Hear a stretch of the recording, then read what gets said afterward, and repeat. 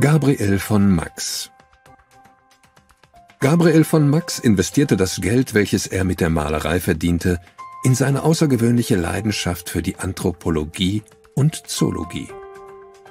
Er war passionierter Forscher und besaß die größte Schädelsammlung seiner Zeit. Besonders am Herzen lagen ihm die Affen, welche ihm als lebendige Studienobjekte, aber auch als liebgewonnene Begleiter dienten. Er verbrachte so viel Zeit mit der Aufzucht von Affen, dass er zeitweise in seinem Münchner Gartenhaus eine kleine Affenherde mit bis zu 14 Tieren besaß.